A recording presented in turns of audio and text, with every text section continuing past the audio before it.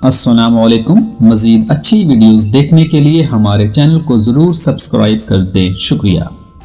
खरबूजा खाएँ, शिफा पाएँ। खरबूजे में नब्बे फ़ीसद पानी मौजूद है, जो मैदे की जलन को रफा करता है। खरबूजे के बाकायदा इस्तेमाल से पट्ठों और रगें लचकदार होती हैं।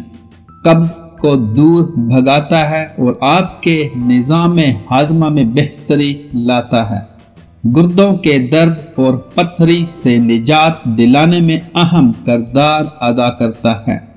सेहतमंद फेफड़ों के लिए भी खरबूजे का इस्तेमाल बहुत मुफीद है।